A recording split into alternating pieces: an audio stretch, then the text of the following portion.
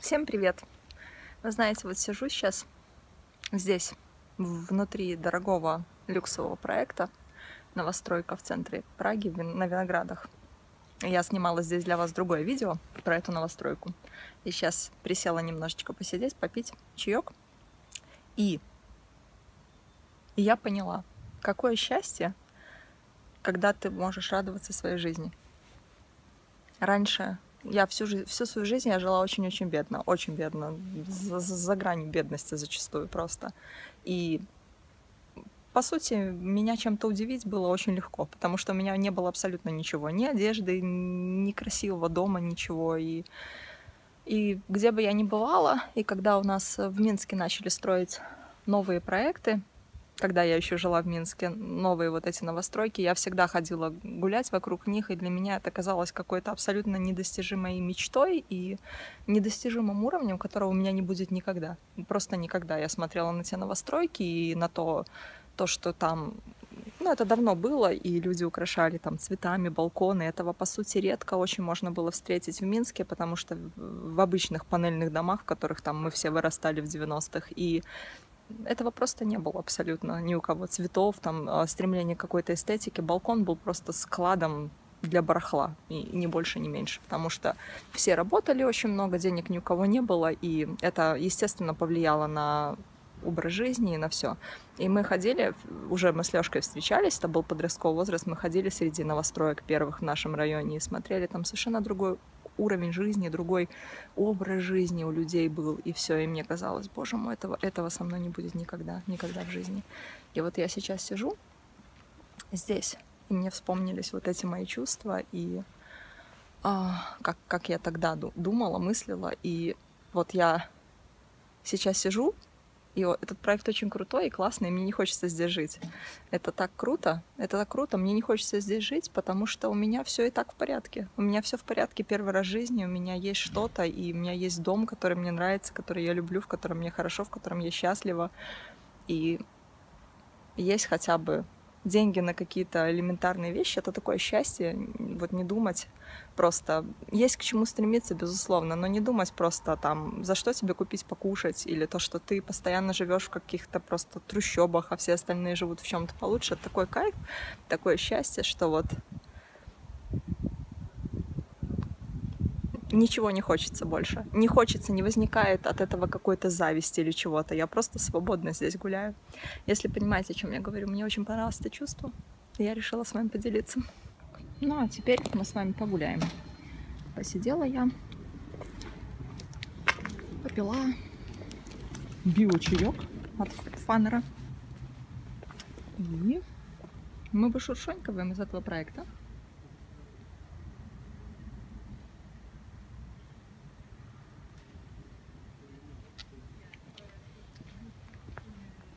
Ой, какие хорошенькие. Какие красненькие. Милашество.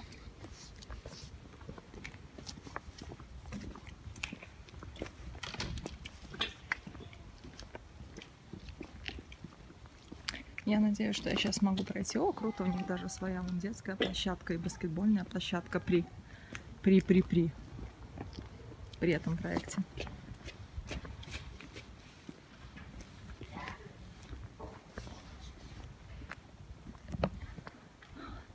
Такое ощущение, что я отсюда не выйду. Так просто, как мне хотелось бы.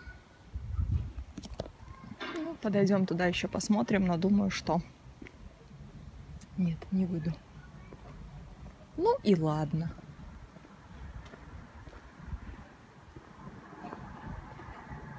Вернусь туда, где я была. Ой, какой был кошек. Все в растениях, вау.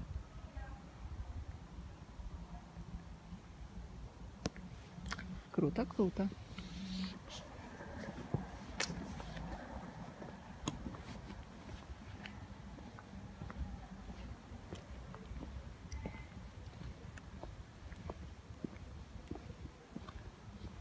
На крыше там садик. Хорошо, раз здесь выход только один, то придется нам туда идти. Оживленненько здесь, надо, надо сказать. Очень много людей входит и выходит все время. Хотя, возможно, если 20 минут торчать где-нибудь возле другого жилого дома, может быть, там такое же будет. Я как-то особо не, не пробовала.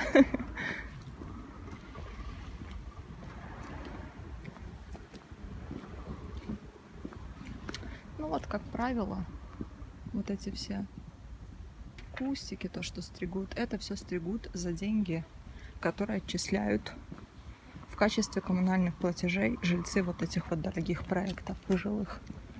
Из-за этого там коммуналочка очень отличается от всех, кто живет в старых квартирах. А если еще и бассейн, и фитнес там есть, то и вообще.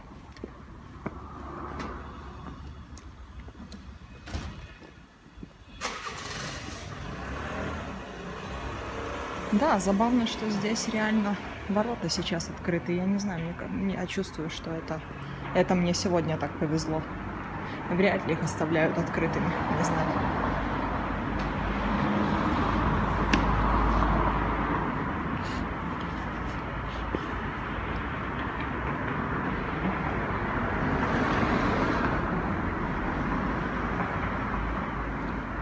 Так, мы с вами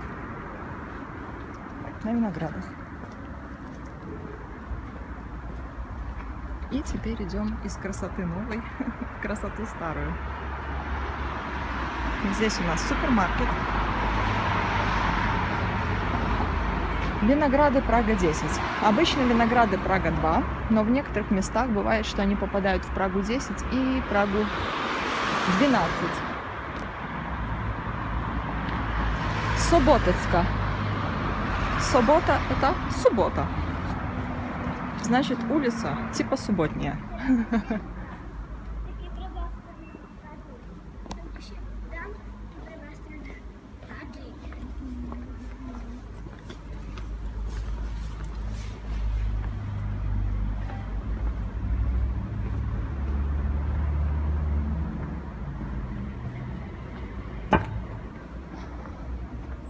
Сейчас посмотрим, куда мы выплывем. Я сегодня по таким местам кружу, куда я обычно не захожу.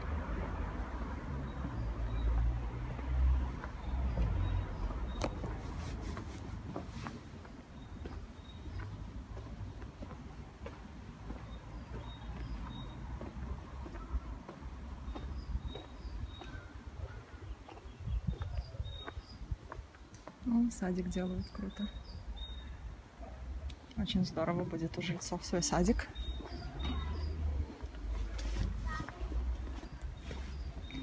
Площадка, да еще с таким видом с горы, класс.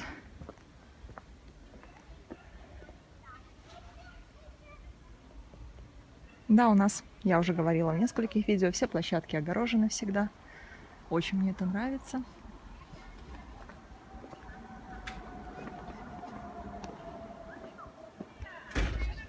Как солнечно, хорошо.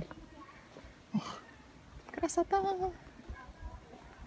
Здесь вот очень спокойно, несмотря на то, что это самый центр города. Здесь такая идиллия в этих улочках. О, прелесть просто. И даже вон французские окна. Очень-очень круто. Но это дорогой район. Так или иначе, это очень дорогой район.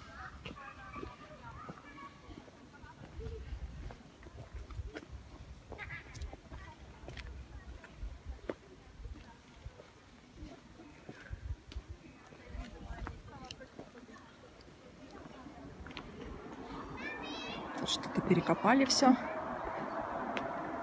Еще, видите, у нас мало что цветет. Чуть-чуть, вот листочки, почечки, чуть-чуть еще, маленькие-маленькие.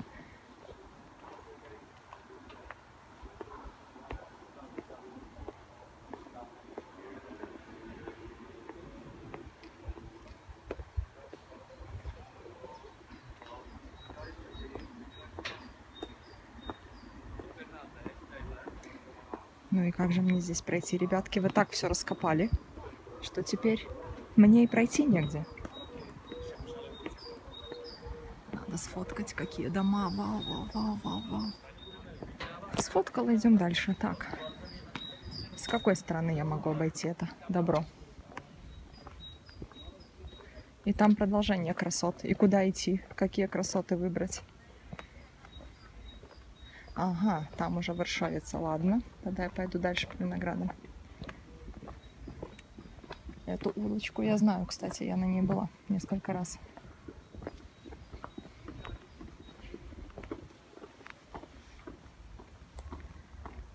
Красота. Ива стоит. М да, мы, мы с вами здесь были уже. И вот этот смешной забор я э, показывала уже вам. С такими мозаиками. Только здесь не было этих раскопок, и было его хорошо видно. А теперь его не видно. Ну ладно. Ничего страшного.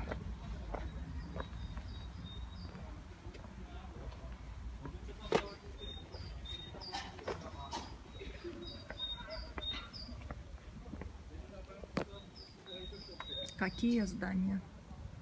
Красота. Такая солнечная улица. Вау. Очень красиво. Очень-очень красиво. У меня тоже солнечная улица, чему я так рада. Очень солнечная улица.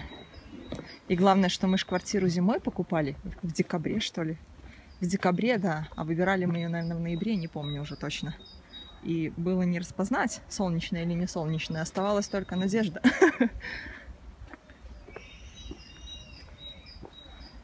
Только надежда была.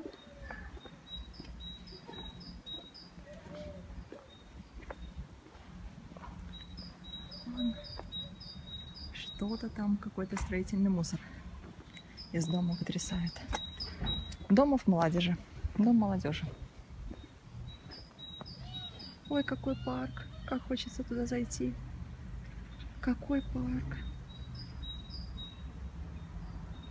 Дежавю у меня с Веной сейчас. Там что-то очень подобное мы видели при прогулке. Какой-то такой тоже закрытый парк с белыми фонарями.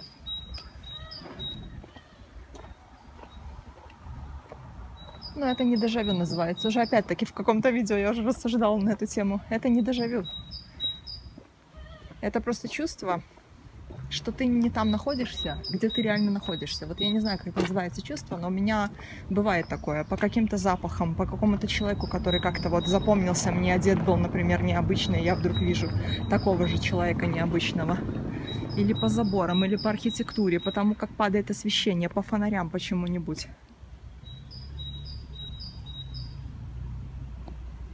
Вот просто у меня бывает такое чувство, причем не так редко. Ох, какой хороший ракурс для фотографии. Вау-вау-вау-вау-вау-вау-вау.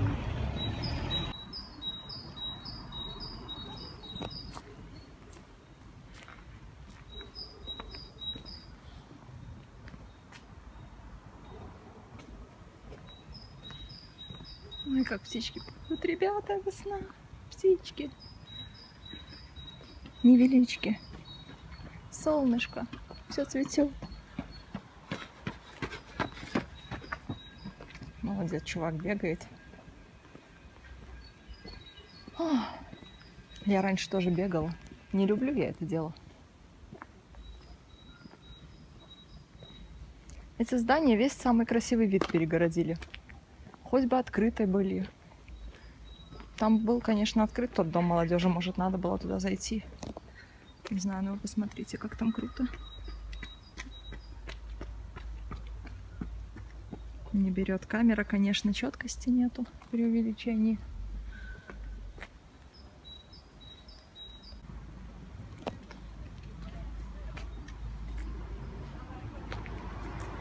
Что-то йогинька моя не отвечает, непонятно, йога у меня сегодня будет или нет, надо мне поторопиться или нет.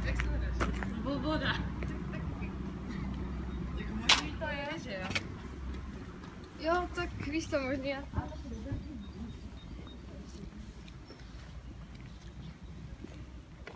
Ах. Недавно свидетелем такого случая я стала неприятного. Поскольку книгу как бы есть желание издавать, то, безусловно, я очень серьезно изучала вопрос о том, как издавать и как искать издательский дом, какие возможности есть. Ну и очень многие авторы сходятся в том, что страшно кидают на постсоветском пространстве, особенно многие русскоязычные авторы, естественно, в России стремятся издавать, потому что там наиболее большой и стабильный издательский рынок, и ну, очень много кидалова говорят, самого разного, от финансового до того, что просто тырят у тебя твою книгу, до того, что заставляют полностью а, переписывать, и много-много-много всяких неприятных нюансов. Вот, поэтому я решила издавать ее за свои деньги, что вообще не дешево и очень сильно тормозит это весь процесс. И тут у меня приятельница моя, чешка. Получилось так, что ее пригласили издать книгу. Она занимается цветами. И ну, один издательский дом пригласил ее написать книгу о цветах, декорациях из цветов и, и все, флористика, короче. Вот, ну и а, она написала, ей выплатили гонорар, а, и выплатили гонорар на тех условиях, что многие-многие вопросы она будет должна, ну, не перебивай меня, ну, не перебивай. Очень многие вопросы она должна организовать сама, включая там фотографии и фотостудию, и ля-ля-ля-ля-ля. И, в общем, она очень долго трудилась, целый год, просто не покладая рук.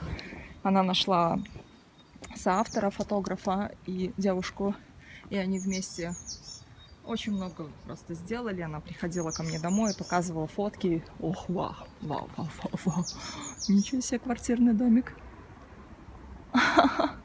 Круто. Вот она была такая довольная, такая счастливая, и все так круто было. И вот уже момент верстки книги уже с готовыми полностью их фотографиями, со всеми текстами, причем издательский дом на многих этапах, когда э, ну, шла подготовка, они хвалили, говорили, что им нравится, и все, вот, и они выделяют э, самый последний момент верстальщика, который, ну, очевидно, как бы old school. Реально старая школа, как бы по ее рассказам, ну, она стильная, прогрессивная и говорит, что у него как бы нету вкуса на, на это. Он абсолютно не понимает, что они хотели сделать это как Pinterest, чтобы это были, ну, знаете, лайфстайл фотографии, привлекательные, нежные, там, женственные какие-то от двух девушек-авторов. И, а у него абсолютно не тот взгляд, что он сделал какую-то сельскую подборку, он где-то в 70-х годах какие-то там рыболовные книги сдавал. Короче, у него просто, судя по всему, на это абсолютно нет. Он не видит и не понимает именно эту тематику.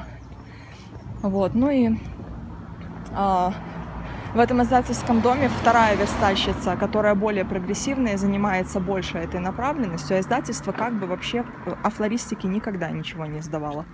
Вот, вмешалась в этот процесс, сказала, что как бы этот э, дизайнер, он не соответствует э, этой книге, его нельзя вообще брать, и все. Ну, потом оказалось, что он какой-то знакомый директора, и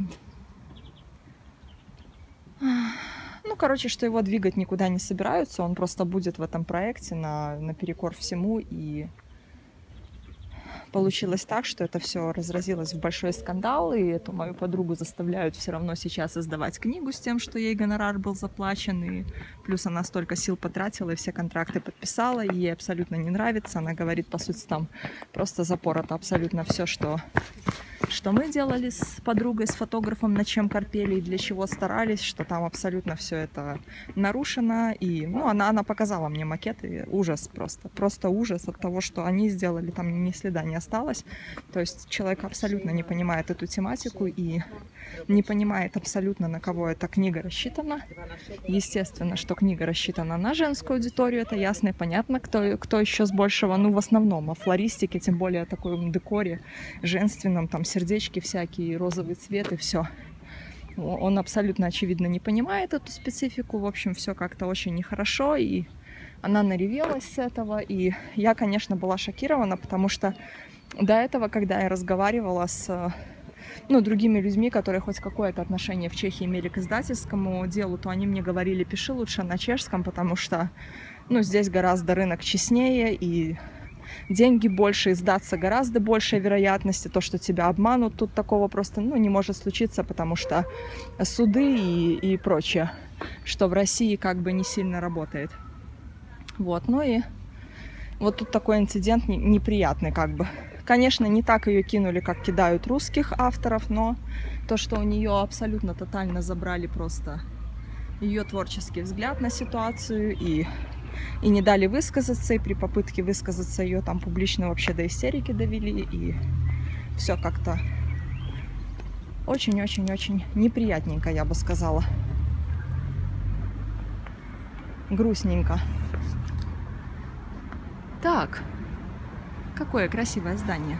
Давай фоткаться. Вот, ну я, мне очень печально, что с ней это все случилось. Я вообще представляю все ее чувства, потому что весь год, то, что она работала над этой книгой, я все время была в этом с ней вместе. Все время мы как бы обсуждали это, она все время показывала прогресс, она так радовалась, она все, мне очень грустно за нее, но я рада, конечно, что я узнала какие-то такие аспекты, то, что вот этот вот